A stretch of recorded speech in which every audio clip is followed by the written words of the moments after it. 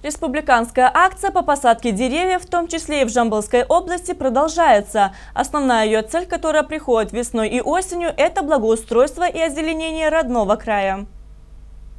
В минувшую субботу, 19 октября, всего по Жамбылскому региону было высажено 10 181 дерево. Из них 1800 саженцев в Таразе и 8381 в районах области. Всего 10 районов приняли активное участие в данном мероприятии. В рамках данной акции прошли широкомасштабные работы и по санитарной очистке Тараза. Город заметно преобразился и в экологическом плане. Люди отметили, что выполнили одну из актуальных заповедей, которая гласит о том, что каждый человек должен в своей жизни не только построить дом и вырастить ребенка, но и посадить дерево.